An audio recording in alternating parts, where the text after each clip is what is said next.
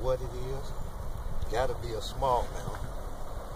I've been fighting them now for, oh, coming up top. Whoa, look at the side of that smallmouth.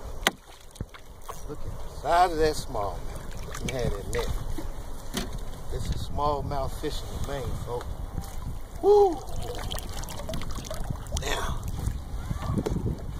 now when you small, smallmouth bass fishing there, when y'all wanna stand up against the big boys, come on out here to Maine, and uh, we'll show you how to catch some smallmouths. Woo! 15 minute fight. Peace out.